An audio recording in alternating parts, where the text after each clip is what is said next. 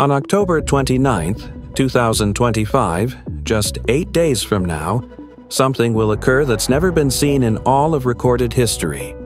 3I Atlas, the third confirmed interstellar object ever discovered, will reach its closest point to the Sun while being completely hidden from Earth. Not partially out of sight, fully concealed behind the Sun for three crucial weeks. And what NASA isn't openly discussing is why that timing matters. Before we go any further, understand this isn't theory or rumor.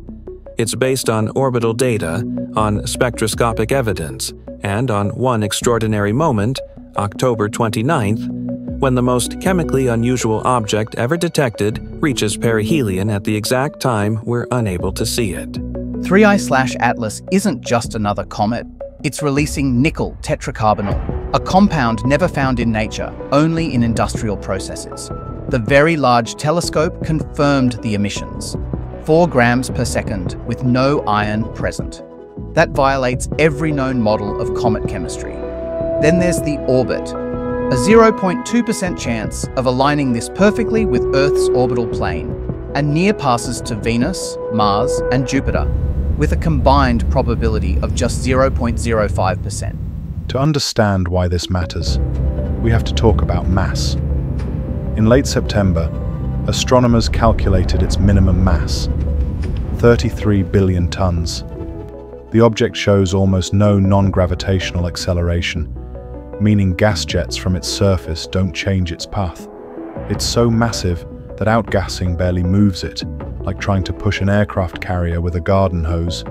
From the data, its size must exceed 5 kilometers across, making it thousands of times heavier than the first two interstellar objects ever found, Oumuamua and Borisov. Statistically, finding something this big so soon is nearly impossible. Once per thousand years, maybe longer. Its trajectory adds another mystery. 3I Atlas travels almost perfectly along our solar system's flat plane, a 1 in 500 chance. It also passes close to Mars, Venus, and Jupiter, each encounter precisely timed. Avi Loeb, the Harvard astrophysicist who challenged consensus on Oumuamua, compares it to rolling double sixes again and again. Maybe chance, or maybe design.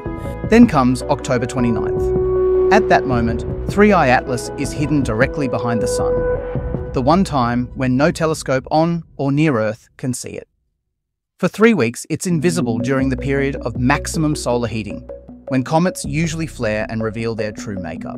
If any course change or maneuver happened then, we wouldn't have seen it. By the time it re-emerged in mid-November, its orbit still appeared natural. But small deviations could take months to confirm. Chemically, it's just as strange.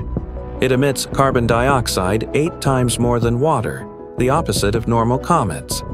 Its nickel emissions appear without iron, a cosmic impossibility under normal formation. Early images showed a forward-facing jet, something comets don't have. NASA called it an imaging artifact, but later photos revealed a standard tail. Still, the timing and chemistry don't fully align with natural explanations.